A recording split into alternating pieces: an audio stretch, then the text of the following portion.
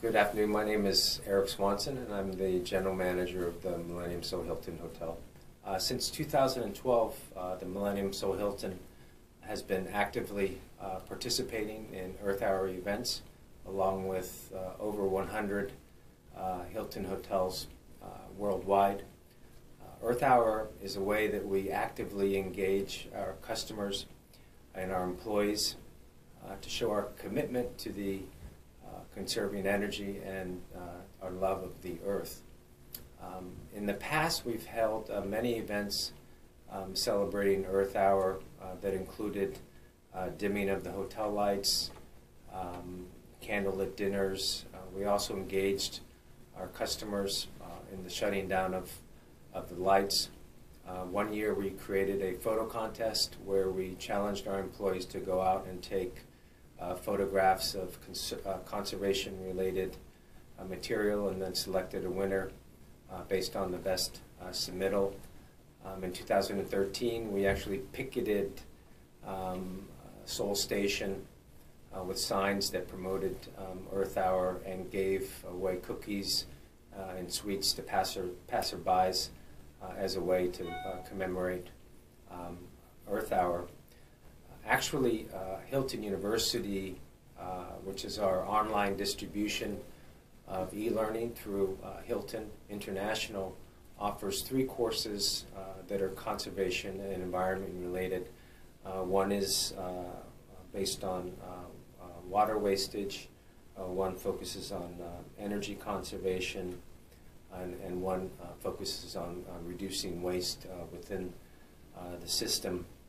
Um, an example is, of this is that in 2014, uh, the hotel purchased uh, carbon uh, offset credits uh, the, to the tune of about 130 uh, tons. Our goal in 2016 is to increase that from 130 to about 500 tons of carbon carbon credits. So 2016 is a special year for us because Hilton has declared uh, 2016 as Earth Month. Um, so we're trying to scale up our efforts, um, obviously uh, culminating with, with Earth Hour.